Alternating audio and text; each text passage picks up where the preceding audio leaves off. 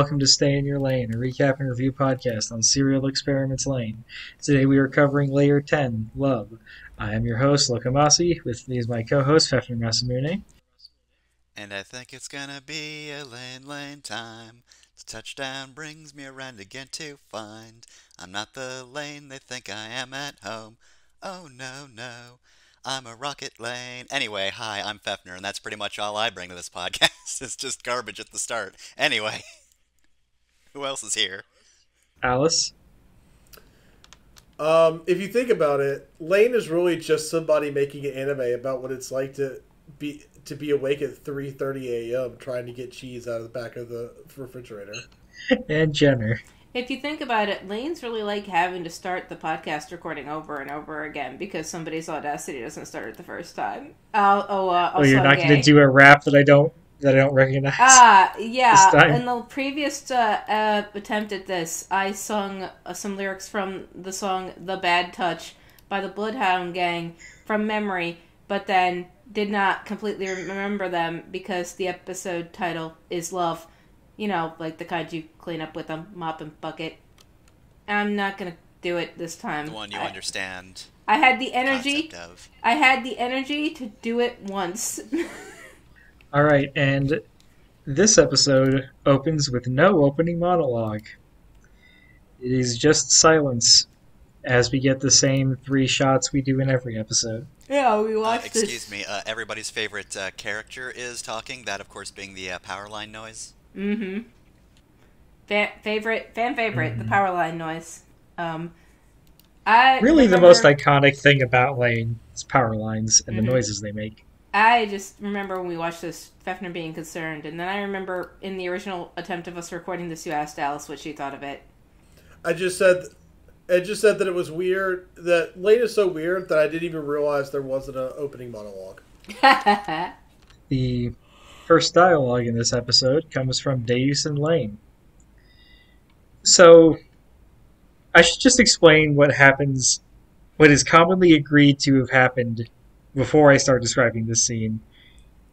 Fans believe that Deus and Lain basically switch places for this conversation. As to why they do that, I don't know if I have an answer, because we opened with uh, the ending dialogue from last week's episode, where Masami proclaims himself to be God, and then he immediately says, Why are you God? I don't understand.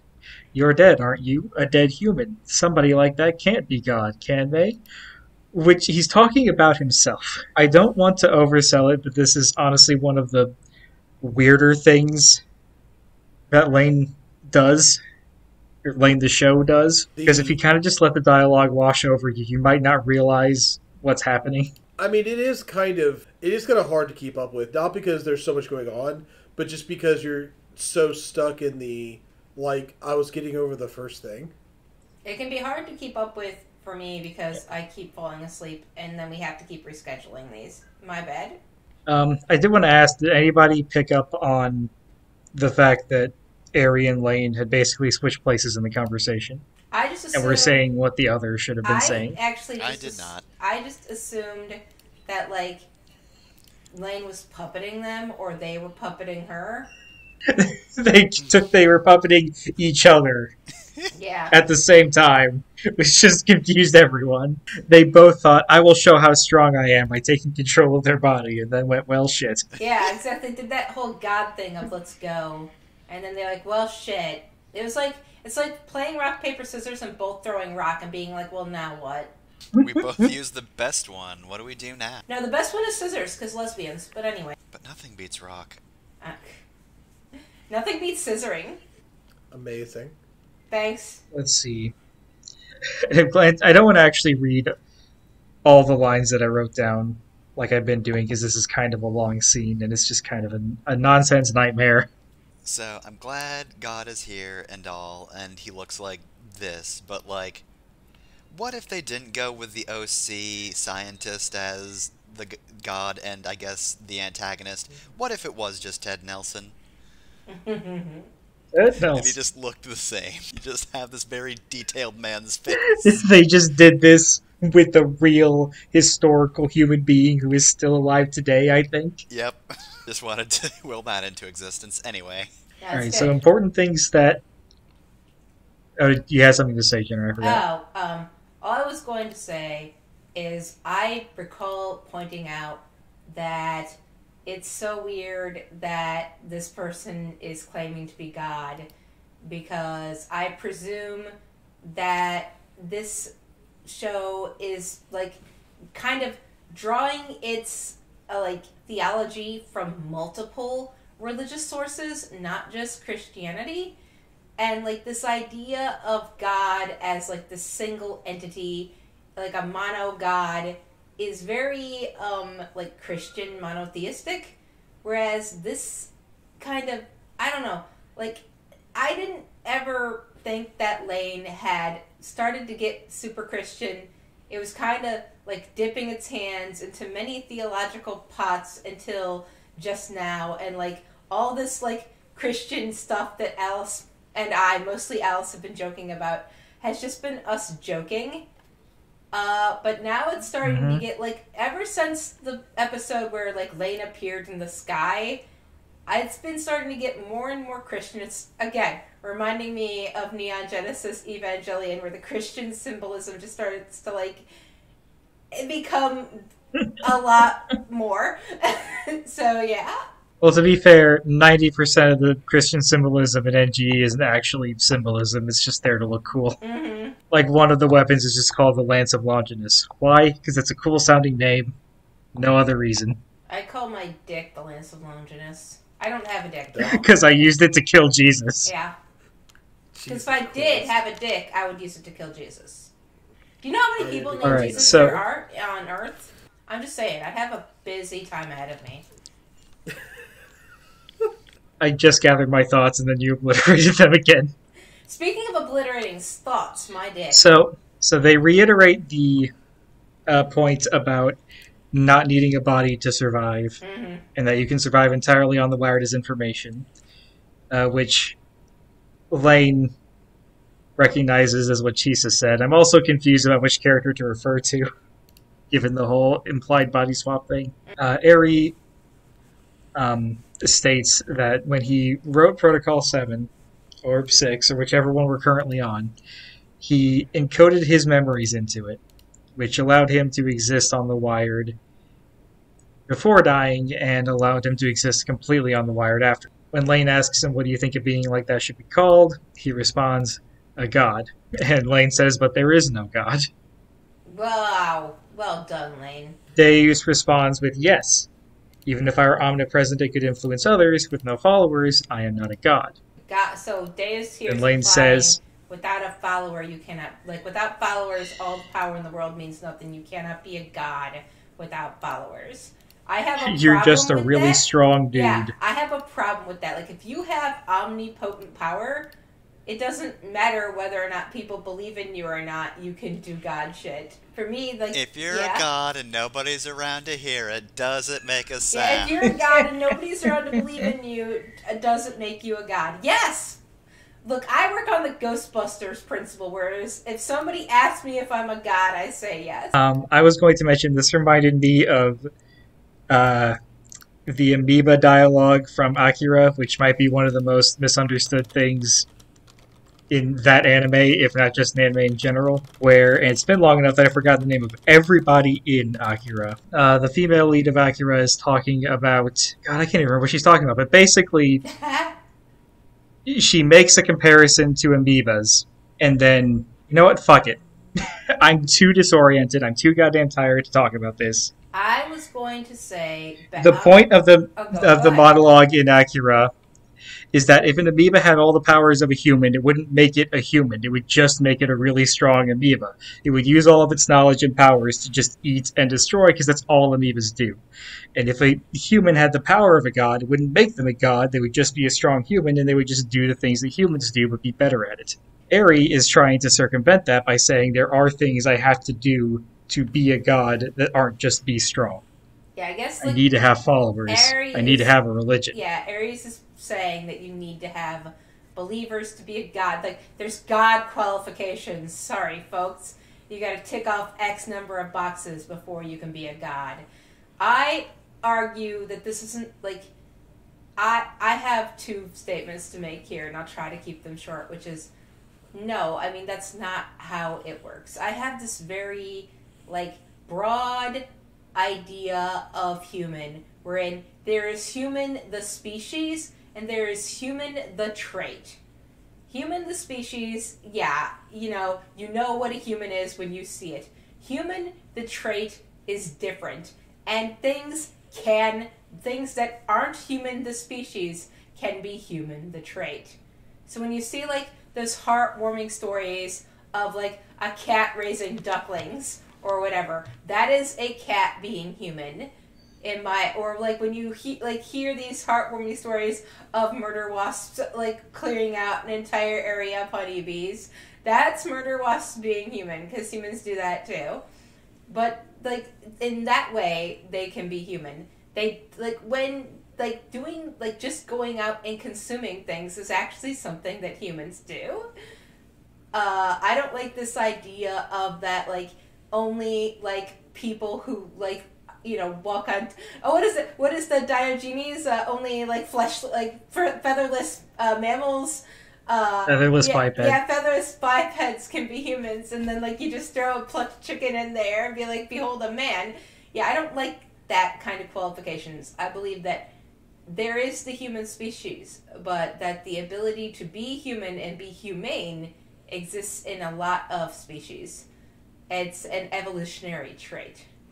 Additionally, I have like this weird, complicated, like, like thing going on with what I think is kind of being said here, which is that Eiri needs validation to like feel uh, justified in living. Like they need that praise and adulation, or it's not worth it. They need that external validation for whatever reason, and Eh, or they're not them, right? It, it's again, if it's it's that tree falling in the woods, but for reals, they need that person to hear their sound.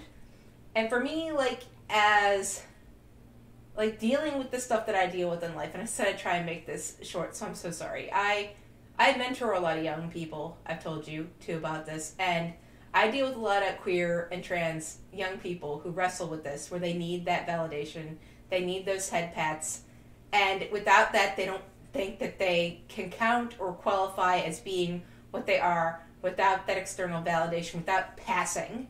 And for me, as an older queer person, it's just like no fuck other people fuck their applause fuck the people in the bleachers you are you. If you're standing up there on the field with, in a football like in a football uniform it doesn't fucking matter what uniform you're wearing or what you're wearing at all. You know you're playing the fucking game. And it doesn't matter what the people in the bleachers say you're there. And it was a shitty metaphor. But yeah like i don't like this idea that you need like fucking somebody else's permission to be who you are, or that you need somebody to say, "Wow, look at you, thumbs up," in order to like count.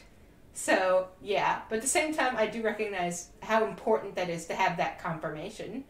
So sorry that that took so long, but yeah, that's where I'm at. There's this. one problem with this. Yeah. He's talking about specifically being a god. Right, but I'm drawing it to like this smaller scale thing. I also don't think look if a if God actually existed, I don't think God exists, by the way. They wouldn't need our adulations to be a God either. They would just ha- like a per- a human being with God power would be able to do God things. Ah, uh, I Well, had I had this let me argument look with back my over what I spouse about this, where like human beings anthropomorphizing God don't like human beings don't understand divine and like the lengths and limitations of what divine is. But it's just like it's not like humans don't experiment and wouldn't uh, like find something beyond human that they could do if they had god powers. I don't know. I'm weird in this way in that there's a reason god doesn't exist because if if god did exist we would have killed god already. That's where i'm at. We humans. All right, I was trying to look over what exactly they say in the conversation. I couldn't remember if they said like worshippers or believers. Apparently, they said followers, so they have to worship and be with days. or they have to believe in and be with days. If it was just they have to believe in days, well, that's ambiguous. Yeah. If nobody thinks you're a god, then I understand what he's trying to say. If nobody thinks I'm a god, then I'm just a really powerful human. Mm. I need people to think I'm a god in order to. Uh, the scene ends with Deus saying, "You no longer need a body, Lain, because we haven't repeated that enough." This is also, I feel like, the first time in the series that they acknowledge Chisa again, because Lain or Deus's body, but I think it's supposed to be Lain's dialogue, uh, responds to Eiri saying that dying is merely abandoning the flesh, but that's just what Jesus said. Another thing I wanted to point out about this scene uh, is that in both the dubs I watched, the voice actors kind of imitate the other's voice, not perfectly, uh, but Kirk Thornton as Eiri puts on a very high pitch, not quite a falsetto, but it's like somebody asked him to do a little girl voice, and he said, "I can't do that," and they said, "We'll do it anyways." Um, whereas Bridget Hoffman as Lain is definitely deeper and more grandiose sounding. They're trying to imitate each other, but it's not a perfect imitation. I forgot what I was going to say, so you can just keep going. But it actually was important, so I probably should have just finished saying it because I don't have this. You don't have the problem forgetting things as bad as I do. Uh, You were going to say something in response to Chisa being mentioned again? maybe it, it's like it didn't really have much to do with Chisa, though. I'm glad she got back up again because, again, you know that I believe that she was important to Lain, even though Lain doesn't remember her. I talked about how trauma and depression can eat your memories, right? Already, I think Mhm. it's like a thing that can happen. But no, that wasn't what I was going to go into because I think I already talked about that. Uh, I don't remember what it was, and I'm upset about it. If I remember, I'll shout it back out again, but I'm not gonna. The next scene is back to the classroom. Uh, Lain goes to class and nobody really acknowledges her, not even Alice. Also, her desk is gone. Nobody really finds this strange and the teacher doesn't acknowledge it. Oh, right. I remember the first thing, and then I remember the second thing. The first thing was I remember in that scene quipping when uh, Eiri says, We don't need bodies. That that's, I mean, sometimes, but some people do. Because without a body, you can't have physical sex. If you want to physically fuck, you need a body. And at this scene that we're just getting into now, I quipped, and I want to say it now so I don't forget later. This reminds me of those nightmares that you can, I often had, and other people have said they had, where they show up at class completely unprepared for like a really important assignment uh, presentation that's like like 100% of their grade, and they're like naked. That this reminds me of those nightmares, except it's even worse. And In the fact, prom's tomorrow. Yeah. Eventually, Lain has an outburst saying, I'm real, I'm alive, I'm here. Why is this happening? Was it something I did? I always try to keep this from happening. Am I not supposed to have a body? And then Alice says, That's right, Lain. You're not needed in the real world. So this isn't real, right? This is some fucked up thing that Eiri did, right? Yeah, Alice would never. That's I think that's sort of the tip off. Is this Nega Um, Alice? This is not my beautiful wife. This is not my beautiful home. I mean, it's literal. That's literally what's happening, though. Like, you may find yourself as a god of the internet world. And you may find yourself like under the wheel of a large train. jokes aside, there's something deep, kind of heartbreaking about watching Lain just stare where her desk is supposed to be. Oh, this scene is horribly sad. It's just genuinely really heartbreaking. Like, wow, I know like there's a lot of weird shit happening, but it just breaks through the weird shit and just is really sad to watch everyone ignore her completely. Like Like, getting hardcore bullied. it's just really sad, you guys. Yep. The person uh, who recommended this show to me is non binary, and this show is one of the things that helped them realize that gender is fake. And it was, they admitted by their own admission, it was in a very fucked up way, in that this constant refrain of, I'm not real, I don't need my body, and I don't belong here trauma that is being inflicted upon Lain made that person reflect on do they belong here? Do they belong in their body? Are they real? And then they're like, oh shit, I could just be whatever. And so at least they got something positive out of it. One person's trauma is another person's nirvana. hmm Uh, the next scene has Lain going home. No one is there. One of the bedrooms is a mess. For some reason, I have a note that it might be Mika's, but I don't really know. I guess I think it's Mika's because there's not a ton of computers in it, but there's nobody else living there. There's conflicting evidence of whether like they suddenly left a half hour ago or if they just hadn't been living there for months. It's like I think there are things like dead plants and spoiled food, but there's also just like half clean dishes. Uh, finally, Lain's dad shows up. He says, This is goodbye, Miss Lain. You must have figured it out by now. Our work here is finished. It was only for a short time, but I wasn't able to do enough for you. You're now free to become anything you want. No, you were free all along. I wasn't given permission to say goodbye, but I loved you. It's not that I enjoy playing house. Maybe I envy to being like you. Goodbye. And then he walks out of the room and down the stairs, and after a couple of moments of hesitation, Lain shouts, Wait, don't leave me alone, and runs after him. And then Yasuo says, Alone? You're not alone. If you connect to the wired, everyone will come to you. That's the sort of being you are. And the scene ends. You gotta use the power of friendship and also the internet lane. Come on. I mean, there's a difference. You're not between- finding a gun in this continuity. There's a difference between like knowing people and being friends with people. A lot like we Mhm. I've made close relationships on the internet. You you know, you all can attest that you are some of my close relationships on the internet. But the truth is sometimes people that you meet on the internet really are just randos who you could give or take. So there's a difference between like a bunch of weirdos on the internet and your fucking family. You expect like for me, my family was super, super abusive, but for some people, it wasn't. And the people on the internet, for me, were actually the decent people in my life. But for some people, they're just awful randos. And for some people, they don't even get any of that. They get awful randos on the internet and they get shitty family in real life.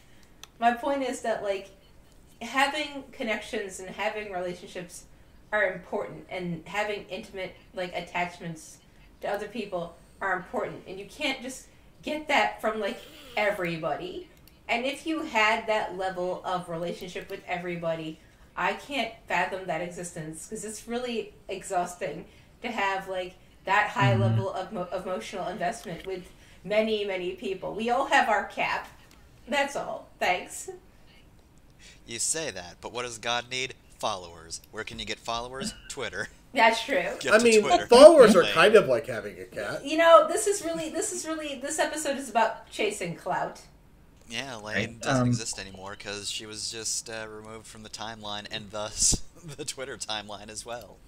lane Okay, is actually a so- twitter bot So is is this whole thing happening? I Like, think so. I'm still don't know. I don't. I'm want it pretty to be convinced- happening. I'm pretty convinced the classroom scene was some weird construct within the Wired, or that area sending her subliminal messages or something. Because I just don't think Alice would do that. Because like Alice has not talked about the real world in that context. There's no reason for her to suddenly say like Yeah. you don't need a body. If she was actually mad at Lain, she would have just said like you can fuck off. But this Yasuo is acting the way that Yasuo has, very ambiguously. I honestly cannot believe that Alice would ever say Alice in the show would ever say a cuss.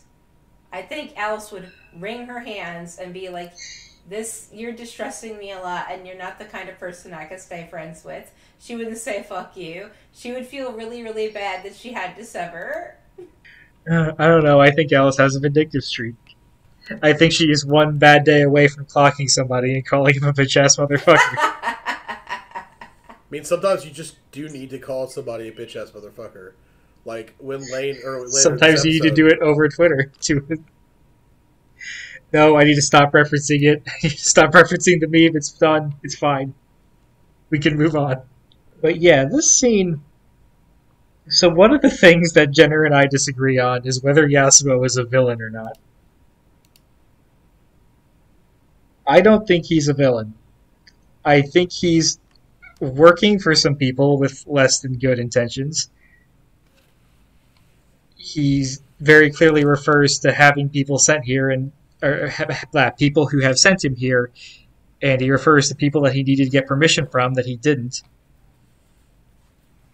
So he's working for someone, and they might not be nice. But I think ultimately Yasuo saw the opportunity to be a good dad and decided to at least try. As the great philosopher, uh, uh, wow, God, what's their name? Hell Puppy 1210 once said, uh, capitalism makes simps of us all.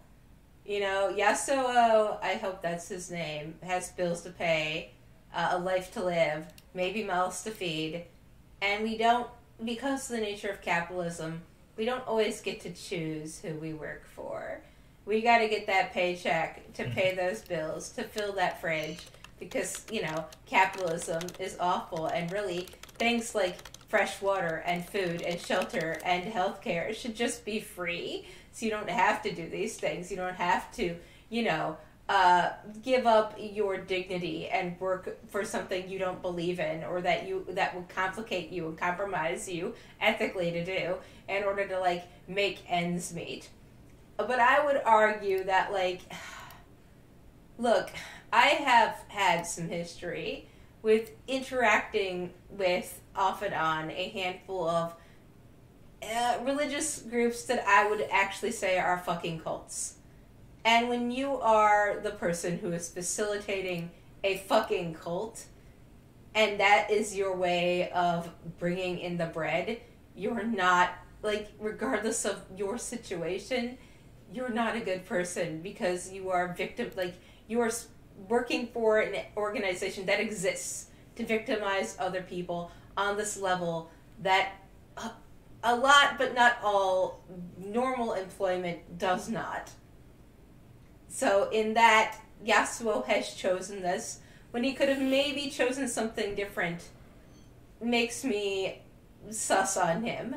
It's kind of like those people who work for the Department of, hum- like you know, Human Services or uh, ICE or our cops, right? The fact that they have made that choice to be a fucking cop or an ICE agent or whatever uh, means that they are now bastards and they are scum, and I don't care why they chose to do that. I care that they chose to do that. Uh, I think what I was going to say about Yasuo is that I think his job was to get Lain on the Wired and push her to this idea that she should permanently move to the Wired and things like that but I think he chose to do it in the most positive way possible. He constantly talked about the uh, the benefits of being online. And when she started to be consumed by the internet in the earlier episodes, he actually tried to talk her out of it.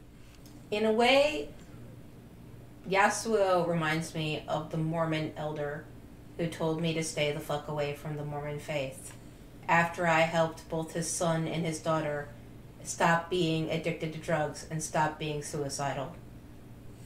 Yasuo reminds me of that man. Was he?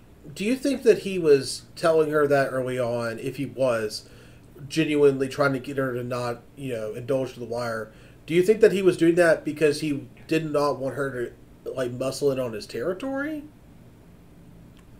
If he's like the elder, he realizes that he's part of something evil and he doesn't want her to be part of it.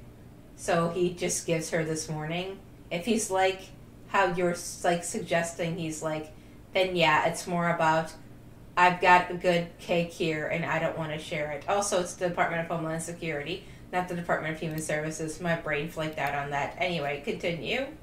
I was gonna say what he said. What he, the exact phrase that I remember him saying was, the wired and the real world are not the same place. You have to maintain a, dis- a, distinction between the two.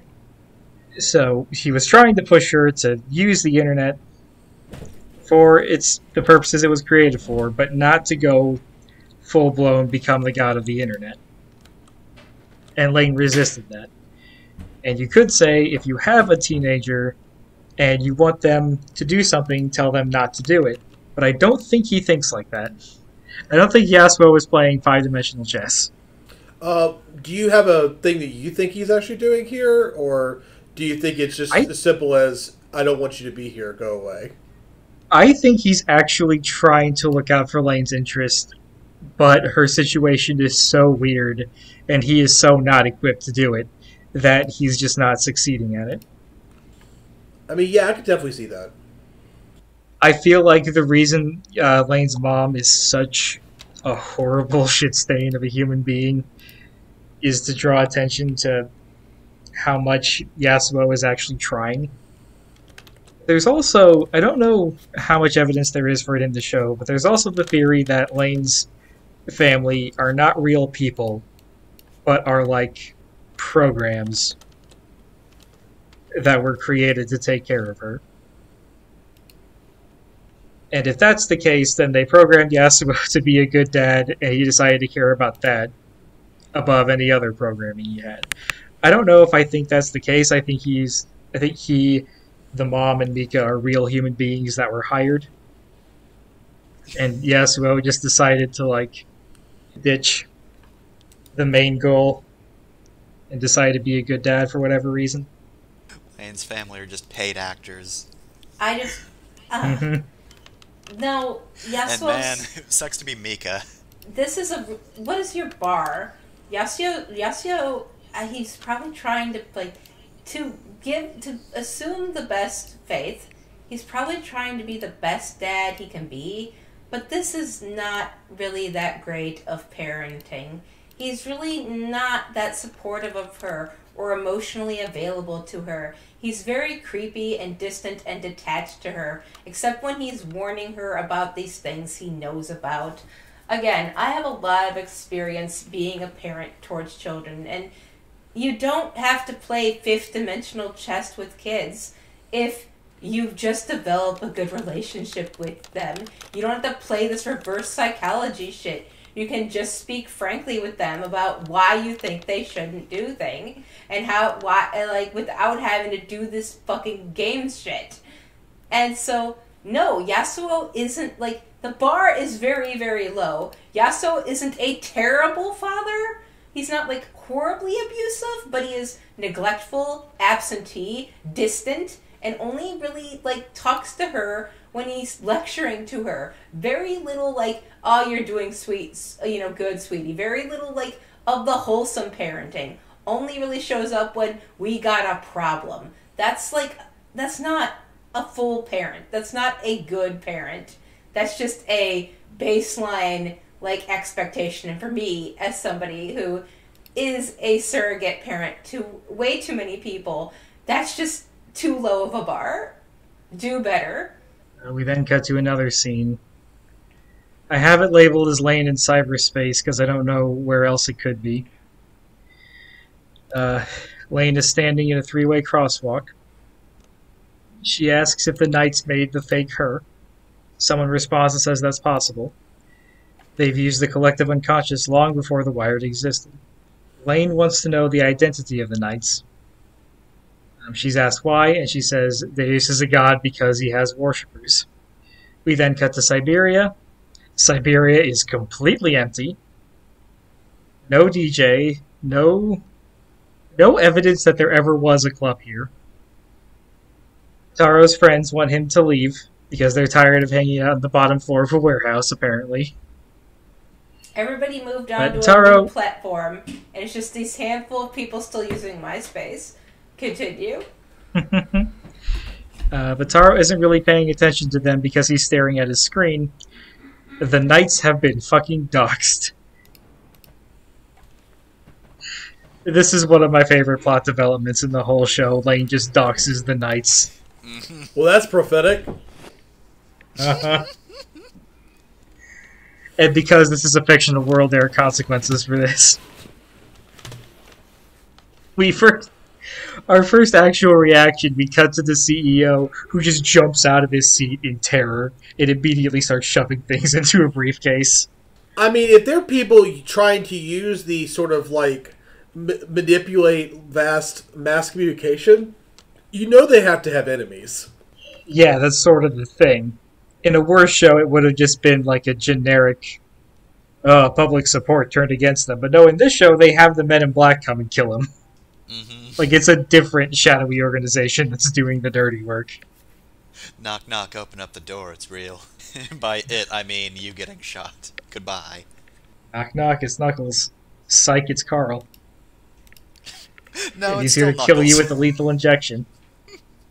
Knuckles just fucking opens up your door and shoots you in the face. And murders you immediately. I was just saying, watching the Knights get doxxed reminds me of what it feels like to be on. It reminds me of the feeling of being following like live news footage stuff. Like it reminds me of Euro, like things like Euromaidan and things like that, where you're following along the live streams as something really big and propent- like momentous is happening really far away from you and you don't actually know that much about it but you feel like you know a lot because you're just imbibing this information just raw in huge amounts so that's what just that whole scene just gives me that feeling Uh, we cut to the other Knights members that we know of. So Gabe Newell and the housewife. They're also all dead. The methods of their death are not entirely clear.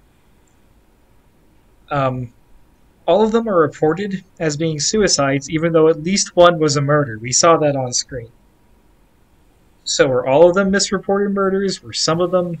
It's not clear. It's not super important. It's just the housewife died at her computer and spilled her coffee.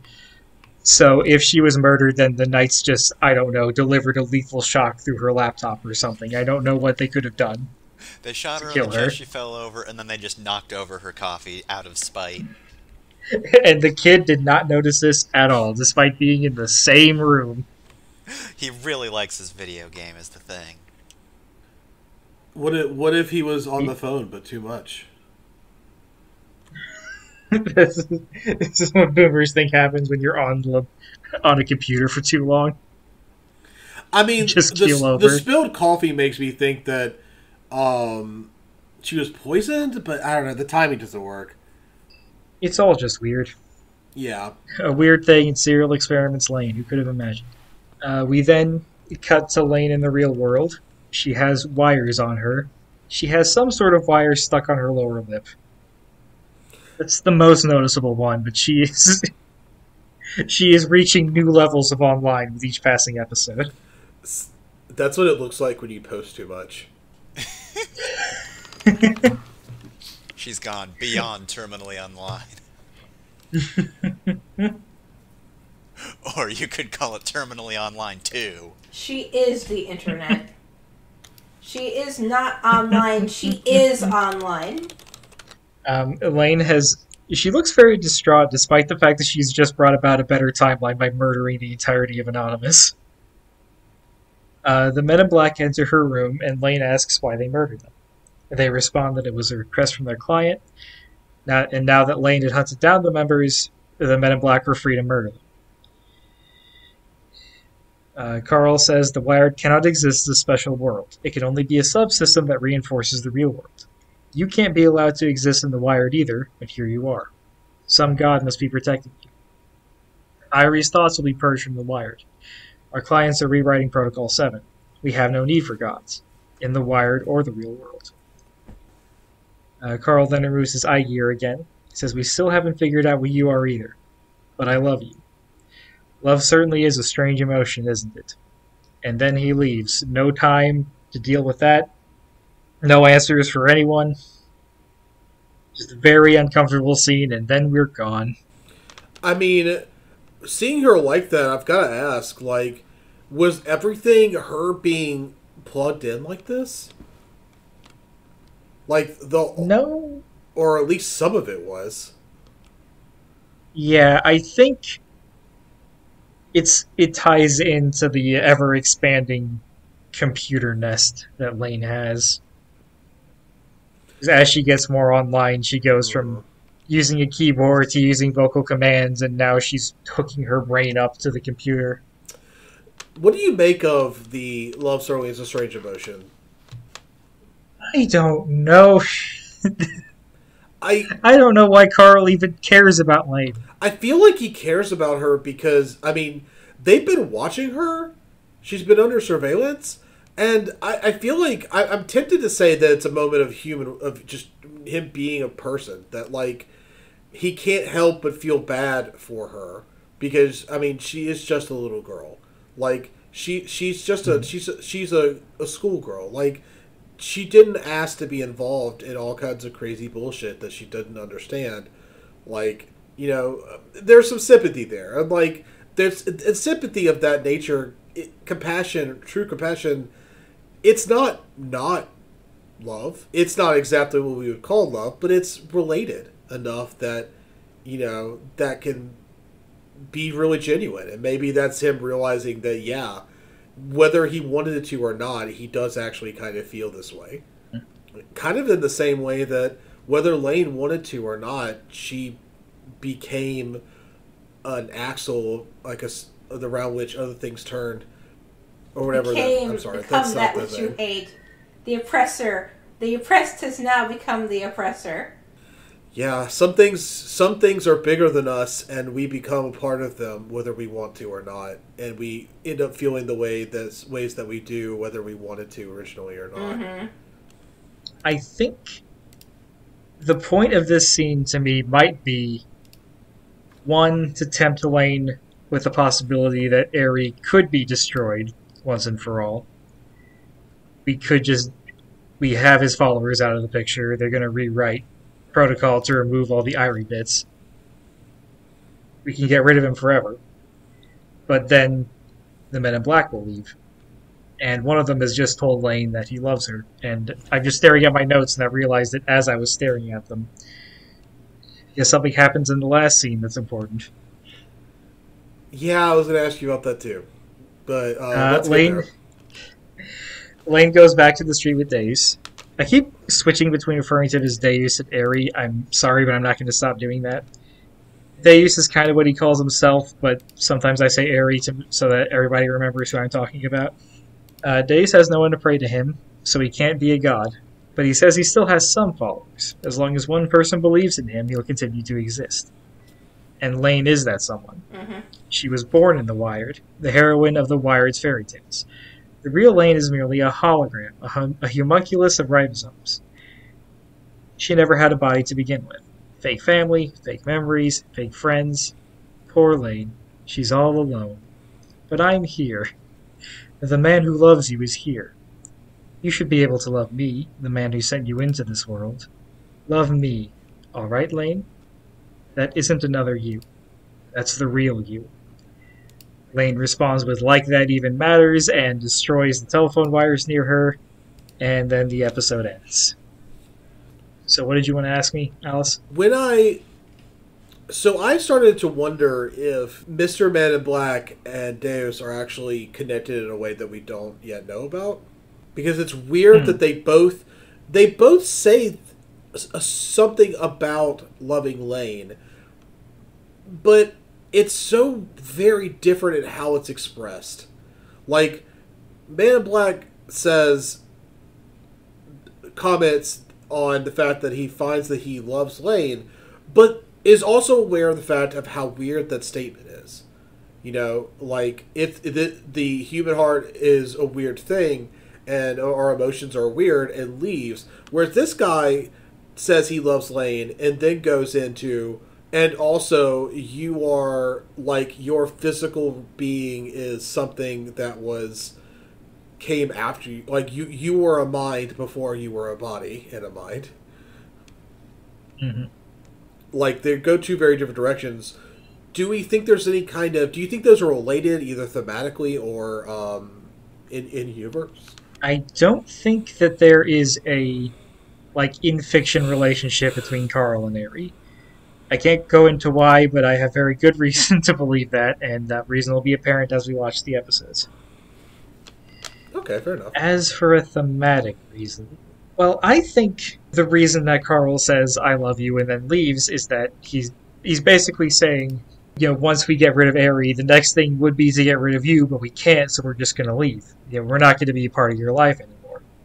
So he says "I love you" and then leaves implicitly he's leaving forever. Uh, scene before that, Yasuo. Well, not just before that, but a scene that happened before that. Yasuo tells Lain that he loves her and then leaves forever. So in the last scene, when Eiri says, "I love you and I'm here," he's bas- he's trying to convince Lain to protect him from the Men in Black or whatever threats he has. Realizes at this point probably that Lain could actually take him out if he if she wanted to, so he has to convince her that she doesn't want to do that. Like Men in Black would leaving, like the concept, what it means that they leave is kind of feels like it's different too. Because like when the Man in Black leaves, it is explicitly a you know me leaving means that you are safe from me. I'm not going. yeah, it's a good thing if they leave. Yeah, it's a good thing. We are leaving, and I'm glad that we are leaving, and we are not going to see us again, and that's for your benefit. I don't know that I could say that exactly with the dad, but the dad saying "I love you" and leaving also. I, I so I don't say this hundred percent, but it kind of feels like this is not the worst thing in the sense that her family has just they have ignored Lain so much. Mm-hmm. And obviously, she has deep emotional needs that they have just refused to fill. But the one person in that family who kind of felt like he at least tried a little bit was her dad. And then I don't know him leaving here is good in the same way as the Men in Black leaving, but it doesn't feel anywhere near as bad as Deo saying it. Yeah. Yeah, Yasuo saying that and Carl saying that do feel completely different. If only because Yasuo is at least, you know, in name her father, and Carl is just some middle aged dude. Who's probably spent a long time um, on this. Like, it seems like he spent a long time on this this- assignment. Yeah. 13 year old girl. Maybe you shouldn't be telling if that's children you're not related to. I, I can't help but read it as a kind of um, he, this assignment seems like it's been a long assignment, and he it's like he got weirdly attached because when all you have to do is monitor this strange alien child, you can't help it. he couldn't just he just couldn't help but feel kind of attached. She was just weird and alien and kind of harmless, and that's kind of endearing. There, we Much like how we, we watch Lain and we get attached. yeah, we we're humans. We pack bond like really easily. Like we we adopt Roombas into our family. We'll we'll pack bond with anything. There was one thing I wanted to say about the scene with Alice that I didn't say at the time because I wanted more setup. So the major characters in Lain's life tell her that they love her and then leave, except Alice. I think because because one, I think that scene was fake. I think that was Eiri. And two, I don't think he could come up for a reason for Alice to leave and actually make her leave permanently. So instead, he takes away Alice's love by having her say, I don't love you. Implicitly. She doesn't say that exact phrase. But she does say, You're not needed in the real world. It's also one of the few scenes involving Lain to not really mention the word love in this episode. It does feel, but it feels like it's implied there. Yeah, yeah. That's what I was getting at. It was on purpose. It was Yeah, I can definitely see trying to show a vision of Alice not loving Lain. the false Alice. Reject the false Alice. Fake Alice. Fear the fear Alice. the old one. Nope, nope, don't like that. Nope. Didn't think about that before I said it. What? What? I combined fake and Alice. Yeah, no, that uh, Excellent. probably doesn't work in this context. Perfect. Perfect. Perfect. Wrap that up. Ship it. It's done. well, okay, you want to think about things before you say them? Nah, Never. Just, just I say mean, them. you're two episodes too late with that one anyway. I'm still I'm still not sure how to feel about I don't know. I'm still not sure how to feel about the various sort of goodbyes. Yeah, I don't have an answer, but for some reason I'm the only one trying to give you one. I still have a little bit of affection for her dad. That's that, I mean, that's part of it. Like he still feels like he was Yeah, the too. one person in her family who did actually genuinely connect with her in any real way. I, I said I don't think they're programs, but I kind of waver on whether he exists outside of this job or not, in what kind of form he exists in. Because if he is some sort of weird experimental AI that jumped at the chance to be a dad, then I could then his character actually makes perfect sense. or even if he's a human a human who is hired to do this, the character of Lain's dad seems to be somewhat transitory and I'm sorry, it just occurred to me. Even if he really is Lain's dad, like being Lain's dad is just a role, you know? Like Mhm. being who this guy is, being that's actually kind of true of all of these. Like they're saying goodbye, I love you, and leaving, except for Deus, and it's like because these people's roles in Lain's life are to a degree not a necessary fact of the universe. The like and Lain is Lane is having to learn in real time that your parents are not these demi demigod like beings who control things. They're just humans and they leave or they die or whatever. The pl- position of your parent is not a universally necessary thing that has to happen.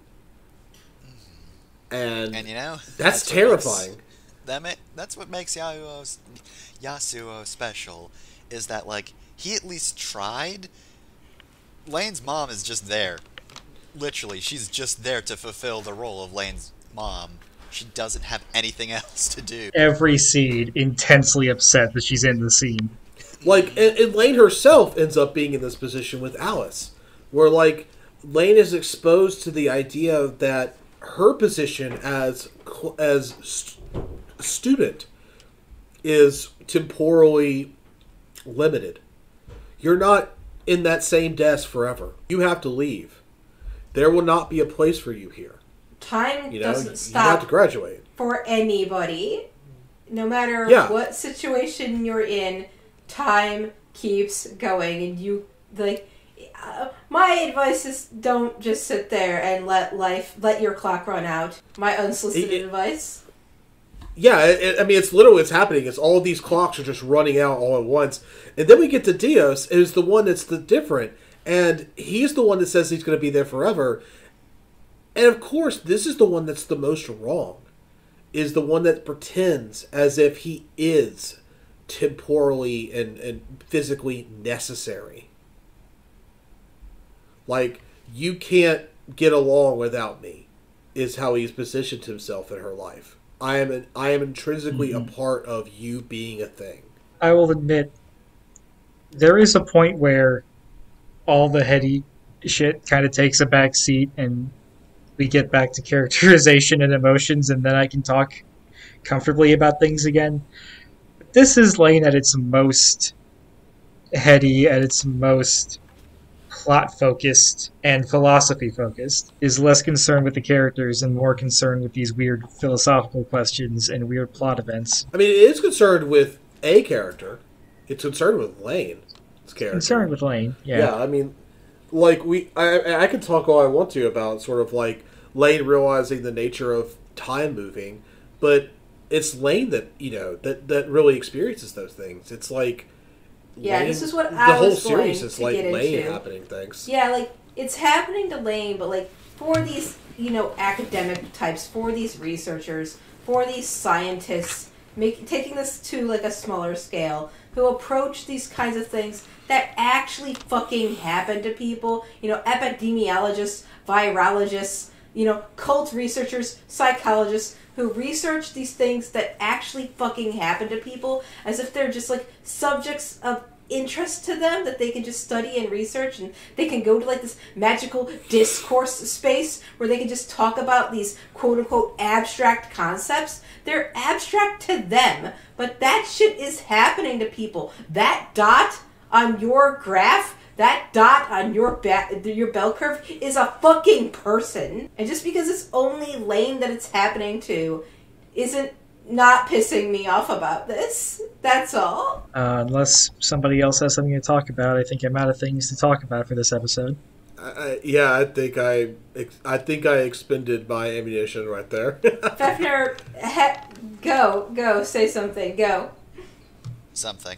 Nice, thanks. You can't just do that to people. Yeah, I mean, It doesn't I, I- work. I shouldn't just do that to people. Well, I can do that to people, just will not get the results I desire. Though that was actually the result I desired.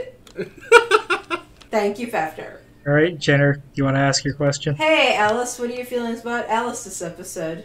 As the foremost I- expert on Alice, I am kind of distraught. Alice was a me so it, like Alice was kind of cruel to Lain in a way that's very unlike her, and I don't like it. It is very upsetting. Very upsetting. Zero out of ten. Would not like this. This is the false Alice. Which means it's time for my bit. What's the plot? Uh, Alice, what do you think the plot is? I think the plot of this episode is that Deus has re- things have come to a head with Lain's incor- like integration of herself into the internet, and Deus realizes that the only thing that could really kind of stop him is well Lane, and to put to kind of head that off before it gets to be a problem, he has decided to both torment her and also pr- provide her with an enemy that she can actually destroy so that in the end of it all having not actually accomplished anything she will feel like the only person she can really believe in is him whether she likes him or not and this is like a like takes that form of an abusive relationship. yeah that's basically the short answer Yeah. Cults do that a lot. They have the exact same, uh, very much the same build and organization as an abusive relationship. Sorry, I stepped in on somebody else's explanation. Fefnir, what do you think the plot is? Well, you know, the the plot is, you know, uh, it was kind of a downer after the last episode, but uh, we're we're coming back up. You know, the series is going back upwards as we uh, as Lain realizes that, um, you know, she doesn't have to just take "Hey, you don't exist" from God, Yeah. And then Lain says, "No, you don't exist," and God's like, "Shit, fuck, damn it, he's right." We're doing that JRPG thing where we're just gonna kill God. And yes, she just managed to kill God, A, by rejecting him, but also B, by doxing everybody else who believes in him. So, uh, plot of the uh, series has led to, hey, fucking, dang, doxing, look. look at the internet itself just doxing an entire group out of existence. yep. My answer for this is that cults are bad. We'll be back next week with episode 11. Bye, everyone. Goodbye. Bye.